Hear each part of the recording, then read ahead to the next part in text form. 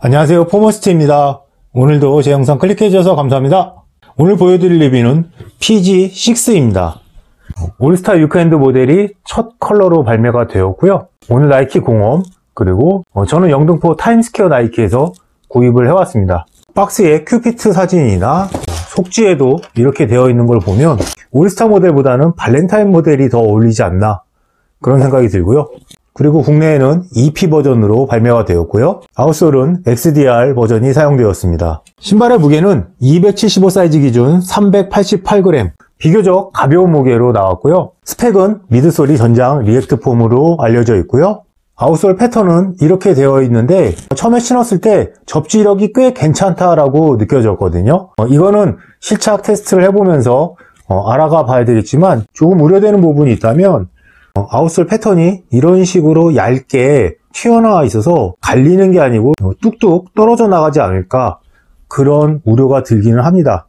뭐 XDR 버전이니 조금 강도는 있겠지만 그래도 그런 염려가 조금 있고요. 그리고 이 아치 쪽에 PG 마크는 어, 위로 올라와서 압축과 아치 쪽에 지지대 역할을 해주고 있습니다. 쉔크를 대신해서 이 부분을 사용한 것 같습니다. 일반 버전에도 이렇게 나와줄지 모르겠지만 커다랗게 나이키 Swoosh가 자수로 이렇게 볼록 튀어나와 있는 이런 점은 참 이쁘게 잘 만든 것 같고요. 어, 바깥쪽에 나비 3마리, 안쪽에 나비 3마리가 있는데 이게 PG6에서 6마리인지 정확하게 뭐를 뜻하는 건지는 잘 모르겠습니다.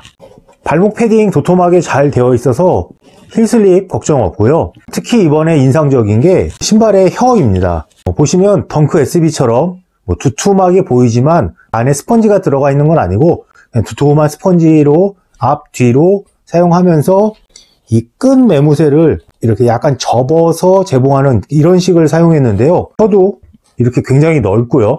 딱 신었을 때 이 부분이 발목을 탁 감싸주더라고요. 그래서 앞, 뒤로 꽉 잡아줘서 약간 mid cut에서 low cut 이 정도의 높이밖에 안 되지만 어, 발목 지지가 생각보다 좋더라고요. 이 부분이 가장 인상적이었고요. 어, 신발의 인솔은 농구 골대에 뭐 큐피트 화살이 달린 농구공이 날아가는 장면 소재는 발포 소재이고요. 두께는 5mm가 조금 안 되는 기존에 많이 사용되는 두께의 인솔이 들어가 있습니다.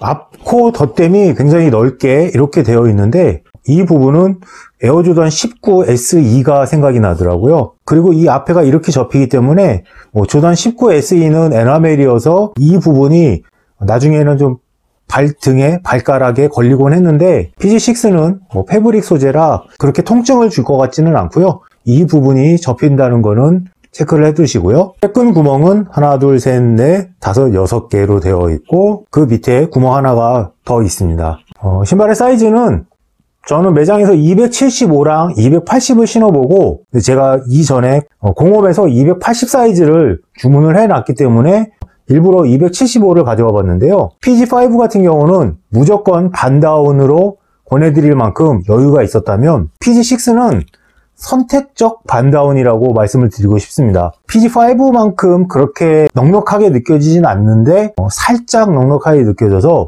정 사이즈 가실 분들 그리고 반다운 가실 분들 그렇게 나눠지게 될 것 같더라고요. 그래서 뭐 웬만하면 신어보시고 결정을 하시는 게 좋을 것 같고요. 저는 275, 280 사이즈 중에서는 어, 발 딱 끼는 것보다는 조금 넉넉한 게 낫지 않을까 싶어서 280 사이즈를 신어보려고 합니다. 이 PG6를 보고 또 가장 궁금해 하실 점이 이 React의 쿠션일 텐데요.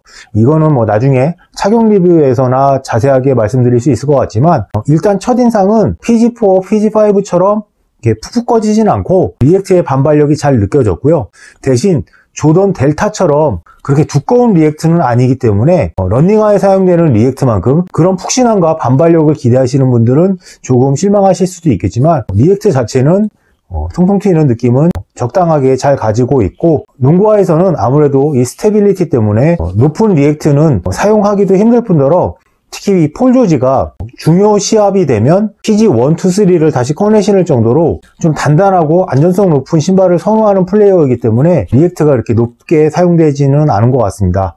그래서 이 부분에 대한 자세한 거는 제가 조금 이따가 보여드리도록 하겠습니다. 자 여기까지 PG6 가지고 간단하게 둘러봤고요. 그럼 다음 영상으로 뵙겠습니다. 감사합니다.